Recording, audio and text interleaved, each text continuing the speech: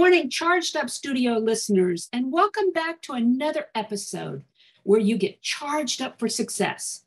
I'm Danna Olivo, your host and CEO of Marketatomy LLC. Now, there have been many times I've connected with prospects and even clients who have chosen the franchising or licensing methodology for getting into business. Well, today we have a very special guest who specializes in franchising, Diane Pleuss. She has joined us from FranChoice, and she's going to talk to us about the franchise industry and what we can uh, expect when it comes to looking at franchising as our business methodology. So Let's all give a very warm, charged up welcome to Diane Pleuss. Thank you, Danna. So happy to be here today and chat about all things franchising. No, definitely. I'm excited to, to finally get you on. So, since 2004, Diane has matched hundreds of entrepreneurs with their perfect fit franchise opportunity while successfully guiding them to avoid rookie mistakes at no cost to her clients. As a result, they are creating wealth, making an impact in their marketplace, and enjoying the systems already in place to accelerate their path to success. So, Diane, as stated, I'm really excited to have you here with us. Uh, there's a lot of benefits that that come with franchising, and then there's a lot of disadvantages that come with franchising. So, we're going to talk a little bit more about all of this. So, before we get started, can you kind of give us a little bit of background about who Diane is, how she got involved in franchising, etc.? Sure.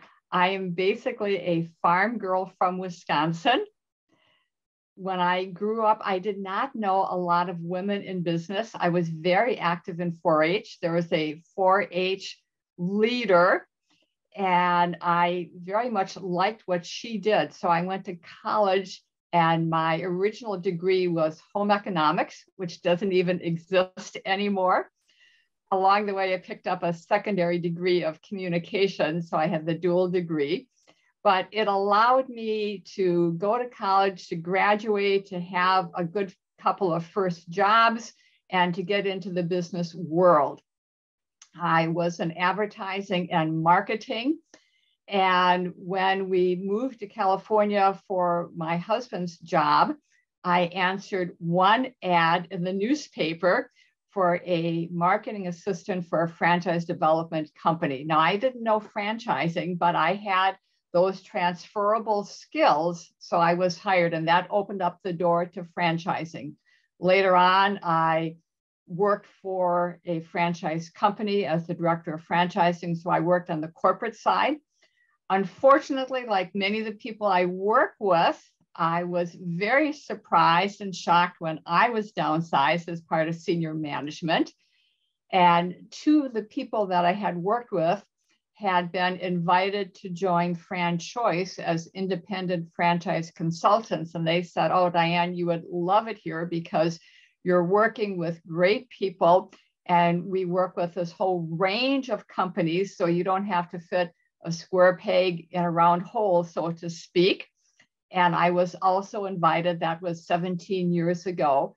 So I've been doing this franchise matchmaking where I match good people with good businesses that whole time.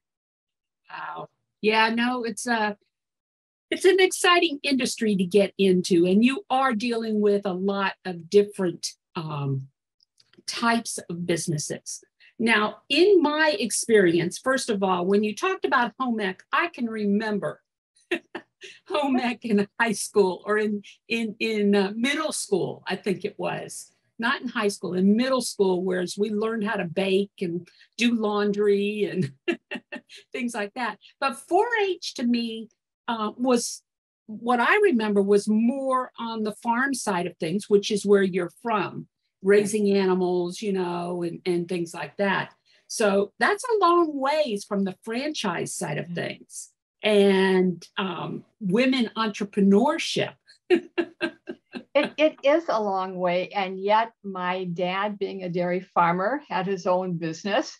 He very much enjoyed it. He loved seeing the results of his hard work and effort. He was named the Farmer of the Year one year, and we would have school buses come out of the city kids to see a dairy farm. And when they were done with the tour, all the kids would get Dixie cups of ice cream, and whatever was left was was left for us, which I thought was fabulous. but I think it was that growing up with my family and seeing them having that control, working with neighbors, sharing some equipment, helping each other out, but seeing the fruits of their labor and and building and growing and, and many respects leaving a legacy. Yes, and legacy is critical there. So we're all familiar with franchises in the sense of like McDonald's and Burger King and Wendy's and you know and things like that. You know, but that's not the the, the crux of um, uh, franchising, is it? There's there's many many other types of franchises, right? Talk you're about that a little bit. Yes, you're absolutely correct. There are many other options. We tend to think of the fast food restaurants because they're by the side of the road and they've got that flashing sign, but there's much more to franchising than just fast food and French fries. So there are many, many different industries. It could be fitness, it could be senior care, massage studios, nail salons, hair salons. There's a lot of service based businesses, particularly related to residential, and they have done extremely well during this pandemic, this past 18 months.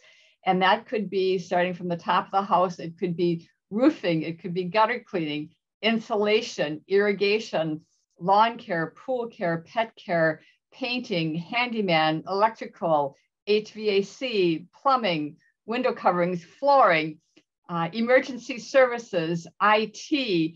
Uh, there is a, a, a staffing. There is a very, very long list. No, it's that definitely. And I want to get into um, getting more information from you on what's involved in getting involved in a franchise or even building a franchise. But first, let's talk about who is it that's usually drawn to franchising? Well, I've actually identified five categories of people that I work with that are drawn to franchising. And the first group are the people that are 50 plus, and many times they've been downsized. They have great skills. They don't know that they want to go back to the corporate world and possibly be downsized again in another three to five years. So they look at a franchise many times right along with a job to learn about it and say, gee, I could do this. I've got this playbook now. So that's a very good option for them. I also work with people who are employed, but what I call nervous. So they've got the good job, but they're in an industry that's downsizing or a department and they want to have a safety net. So they do what's called a manager run business. So they keep their job, but they build a business on the side that a manager runs. Usually they'll open up the first unit or location the first year, the second unit, the second year, the third unit, the third year. And by that time, they're cash flowing nicely. And they then can be really in that catbird seat and say, do I want to continue with the job or do I want to now transition into my own business and continue to grow and scale it? So that's another category, if you will, of, of person that I work with. Related to that, I work with people who have taken time off from work, and they tend to be women who have cared for family or sometimes elderly parents. They've got great skills, they've left good positions behind. And now, when they look at going back, they're less excited about that. So when they discover franchising and some of the flexibility and control they can have, they say, yes, count me in. I'd like to sign the front of the check rather than the back of the check. Um, the fourth category would be veterans, and franchise companies love veterans because if you think about it, they're used to following systems and procedures. They usually have great management experience And many times, franchise companies will give veterans a discount off the franchise fee, and they tend to outperform as a group other franchisees. So they're very welcomed. And then the last type of person I work with, I call the plug and play entrepreneur. They want to work for themselves, they're salt of the earth, they're good people, but they don't have that big idea. They say, Give me that playbook, give me that toolbox, and let me go, let me work. So that gives you some idea of the people that I work with. Right. And I would imagine with with what we've been going through the last 20, 24 months, um, it's opened up the franchise industry quite a bit. A lot more people are looking uh, who have been displaced or just decided they're not going back to work. They've been able to save up some money because they've been sitting at home working from home you know and things like that and they don't have the overhead that they have been having and they've saved up money and now they're ready to start you know thinking about okay you know what am i going to do now? You're absolutely right. A lot of these folks now recognize that they have options and choices. And not everyone wants to go back to the office some of them have had a taste of a little bit more of flexibility and they recognize there are more possibilities out there. So, yes, a lot more people are looking at it.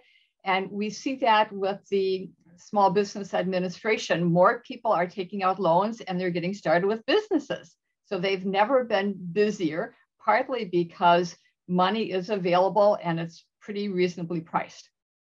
So, let's talk about um, the differences in franchises because I know with the clients that I've worked with, there are some franchises that are pretty strict, like McDonald's, and they have systems and things like that. And then there are some like the the home health care, you know, those type that aren't as strict. You still have to treat that as though you have to come up with your own systems, your own methodologies to run your business. What you're doing is you're basically you are, you know, purchasing this franchise or this licensing capabilities. Uh, it's the brand you're purchasing, is basically what it is.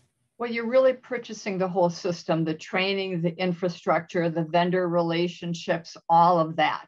So they've got that program, that blueprint laid out for you. What you're going to be doing is you're going to be executing it. You're going to be hiring the people, training them, managing them, developing the relationships probably being involved in the community, uh, deciding on advertising and marketing strategies, watching the financials, watching the cash flow. Right, right. But then there are those, you know, I know that we've run into a few, I've run into a few of these smaller franchise where's, you know, yes, you've got the training and things like that, but when it comes to marketing, there's no contributions, there's no real you know uh, benefit on the marketing side or anything like that. You have to figure that out for yourself. Okay? well certainly some of the smaller franchise companies won't have a national ad fund. So it might say in their agreement when they hit x number of units for example when they hit 100 or 500 units then a national ad fund will kick in. Usually they'll have the prepared ads they'll have the digital advertising ready for you so that again you can implement it. And they'll have recommend they'll have recommendations for you. And hopefully people will follow those recommendations. Not everyone does. And and with the smaller franchises um, certainly they don't have nearly the brand recognition yet because they don't have as many locations open and they probably haven't been around that long yet. So give them a little more time. And speaking of that, let's talk a little bit about if you have a business and you want to franchise that business, what are some of the, the, the legalities or the requirements that are, are needed to be in place for you to be able to franchise. Like I've heard before that you have to have like five years of systems and methodologies in place, you know, and, and things like that. What uh First yeah. of all, that is not my specialty, but I can give just a few general comments. Whenever people are looking at a franchise, they're looking for something that's predictable. So if you're starting, a, if you want to start a franchise, you would look at your existing business. Do you have all the training in place so that if you hired Joe or Jane Average, could Joe or Jane Average take your training and everything that you've done and operate it? So that would be part of the start. And then are Joe and Jane getting that replicatable results? Are they getting the same revenue that you're getting? And if you're seeing that, those are good indicators. And then they may want to talk with a franchise attorney or companies that specialize in developing franchises. And, and, and I had heard that you you really should have some kind of uh, record as far as more than just one place too. You want to be able to show that you have been able to duplicate this process, this franchise process in multiple locations, you know, that type deal. Sure. So. Again, if you think of the person, so if you're going to be that potential franchisee and you're going to be writing out a check, you want to make sure that the system is sound. And, and it may be new and you go, I, I know these people, I like these people, I trust these people, but you want to make sure that everything is in place so that you too can be successful. Okay. Okay. So talk to me a little bit about what an artisan is. Sure. An artisan might be another name for an owner operator. So they like to be involved in the business. They want to be hands on in the business. And they will run it. They may hire people, they may not. And sometimes I talk with people and they say, gee, I managed 25 people, but I've made it to that corporate office. Now I would like something very simple. I would like to be involved hands on. I want to give that customer support and interaction. If you can find me a business that I can do, let's look at that. Okay. And an executive model is? Sure. An executive model would be where you're managing the business. So you're hiring the technicians. So that could be the handyman, it could be the painters, it could be the people who are doing the residential cleaning, it could be the caregivers for a senior care franchise. So let's just take senior care. That's an executive model. You're going to be involved in the community. You're going to build those relationships with the hospitals and those resources. You're going to be hiring and growing a staff. So you're not the person who is that caregiver, but you're hiring the caregivers and overseeing and managing them. Right, right. And, and that's what I've been involved in is, is the individuals who are hiring these people and they're just managing the teams as far as that's concerned. Okay. So kind of shed some light on some of the assumptions that people make about franchises and what are some of the myths that you want to dispel? Sure. Well, one myth is that you need a million dollars, that it's very expensive. And again, we tend to think of McDonald's, which is a large investment.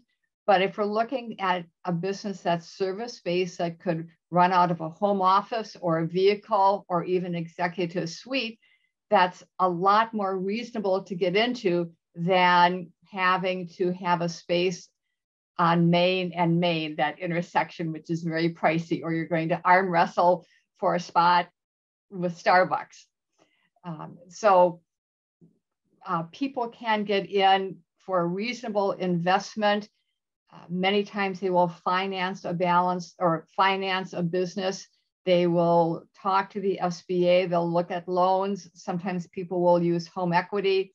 Many times people use retirement funds, which you can use when you roll it into your business. It's not something that you can do yourself. Companies specialize in that. But then you're starting with equity funding rather than debt funding. And there's no penalty for that. And there are actually some tax advantages. So yeah. I encourage people to become educated on their options. So usually a franchise company will want you to have a certain net worth and liquidity and come to the table with about 30% liquid and finance the balance. Okay. Okay. You know, this is basically okay. So, you know, let's talk a little bit about the pros and cons. Let's be honest here. The pros and cons between franchising and a self start business. Sure. Well, to me, the, the pros are you've got a lot of things figured out. You've got someone who has gone down the road further right. and faster, and they said, Oh my gosh, we made this mistake, don't make this mistake.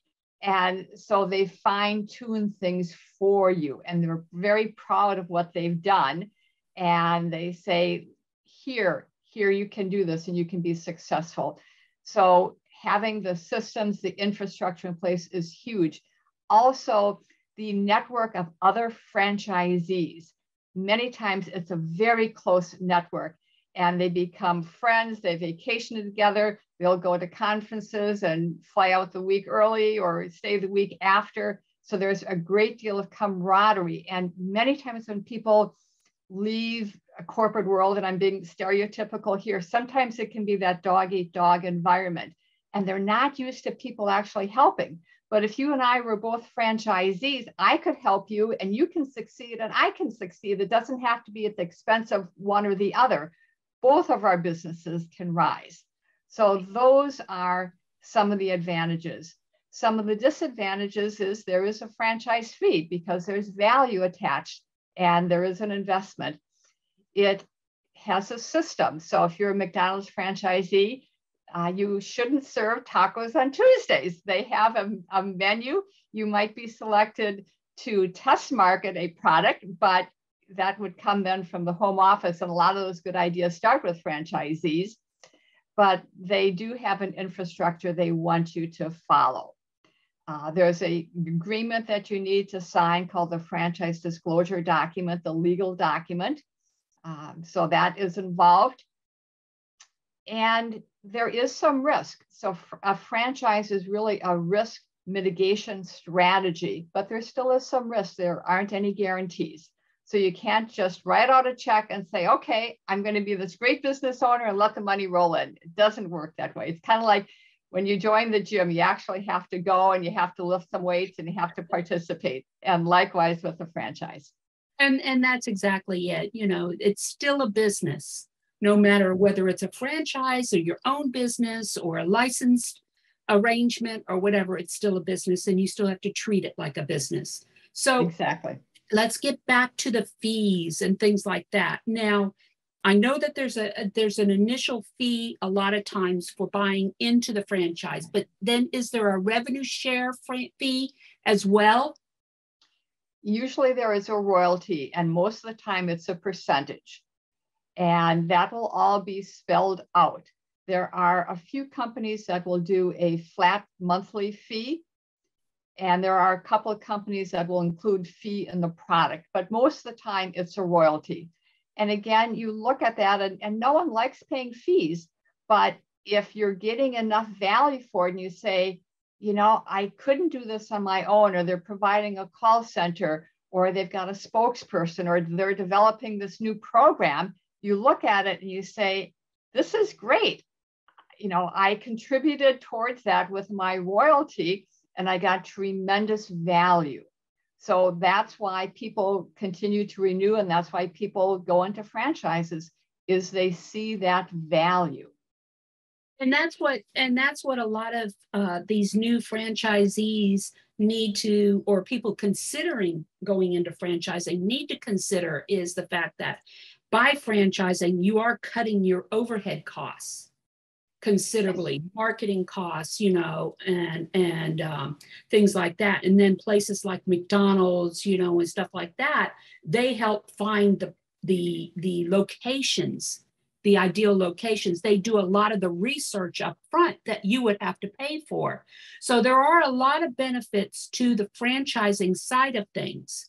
Um, there are some you know some some not so pleasant benefits well there are downfalls. yeah let's call it there are some restrictions that you yeah. need to, to follow yeah. and if you're that mcdonald's franchisee and your bathrooms are dirty and your parking lot has a lot of trash in it that's going to affect neighboring franchisees so they're going to say shape up here yeah. which they should because that could impact your business yeah. And then if you look, um, you know, uh, I know down here, okay, we've got, uh, what is it, RaceTrac and Wawa. Okay.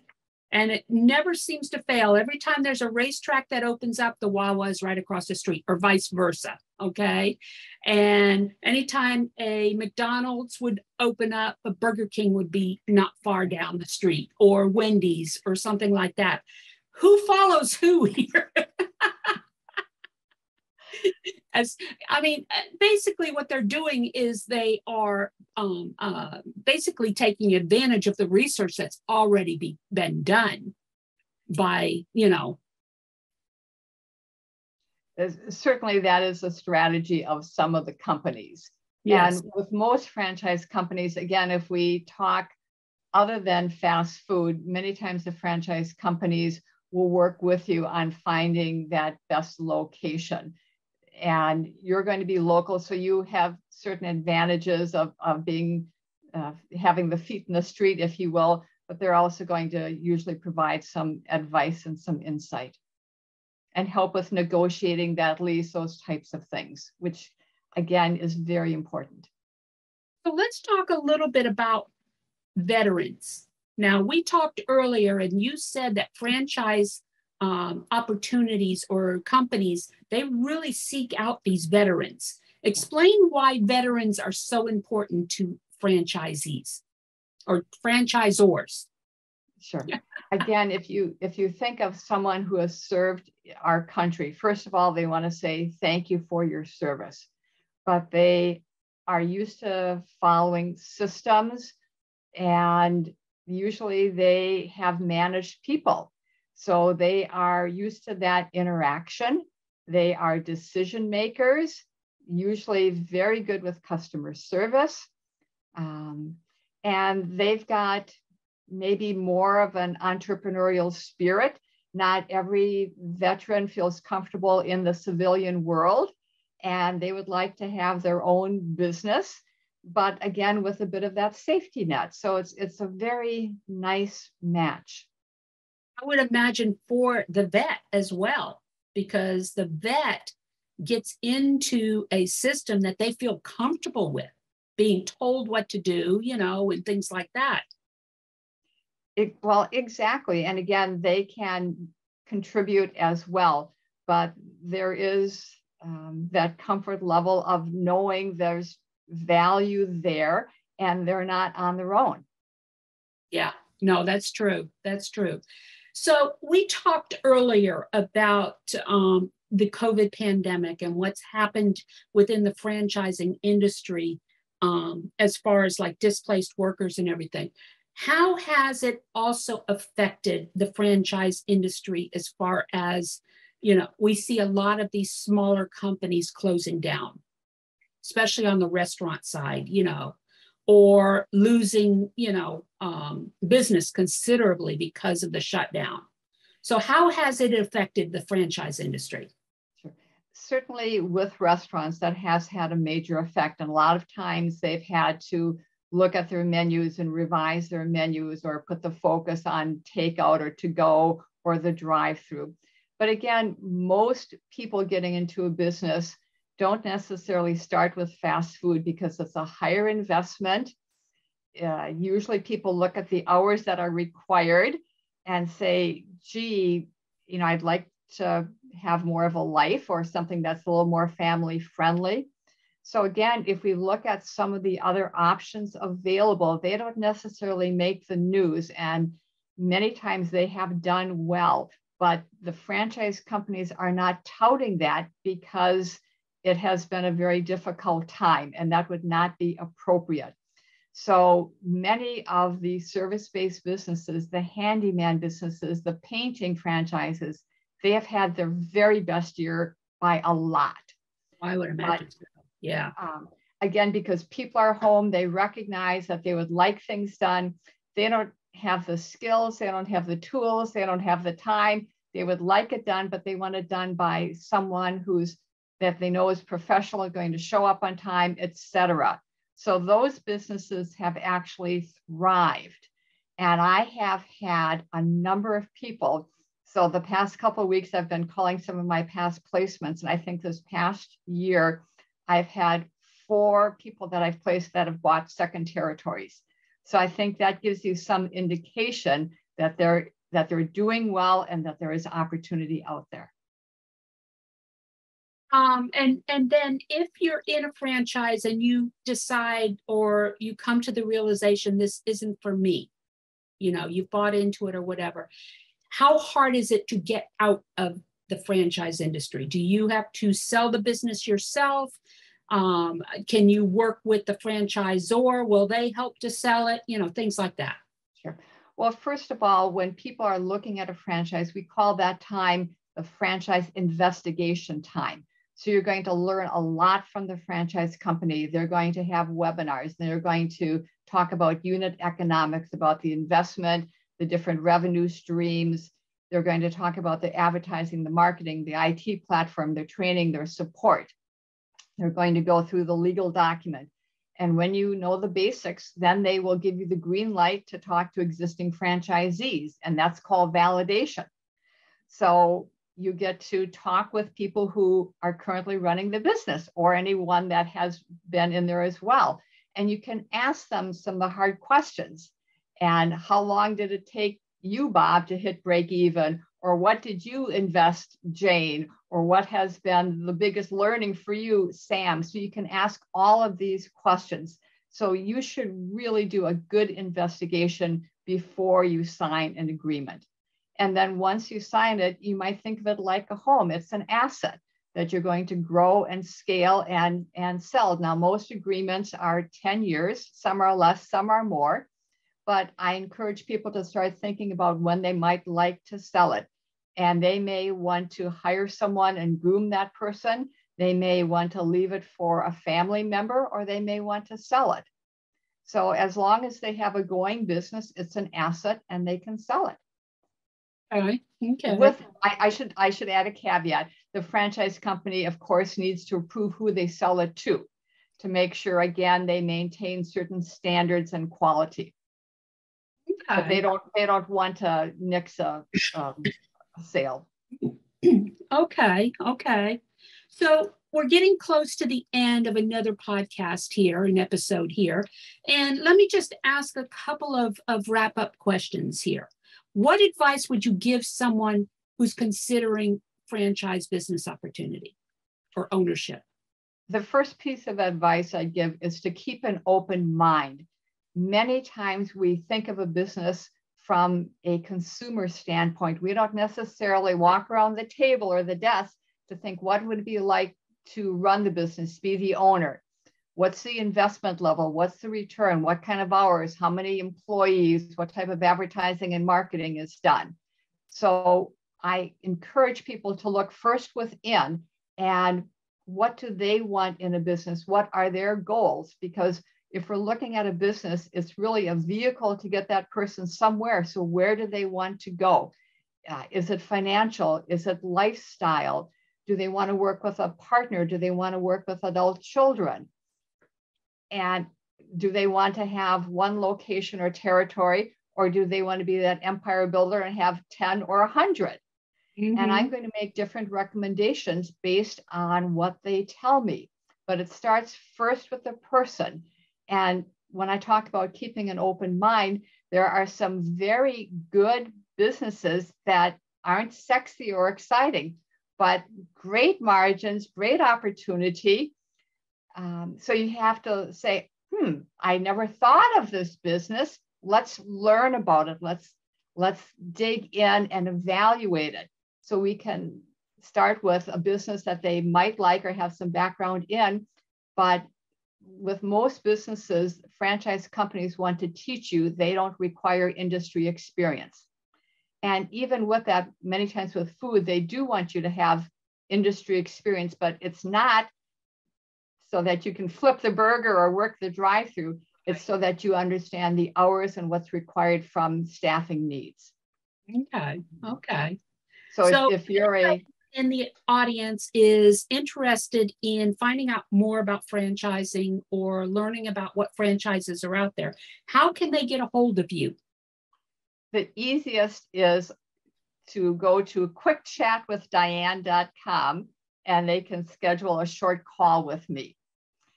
They can also look at my website, dianepleuss.com. That's D I A N E, P as in Peter, L E U S S as in Sam, Sam.